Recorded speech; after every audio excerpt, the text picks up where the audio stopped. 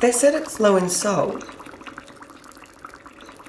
I don't understand how they can just come around here and change the way we live. What was I supposed to do? I couldn't tell them to leave. They said they were from the television. They they had cameras and pointy things. Knives?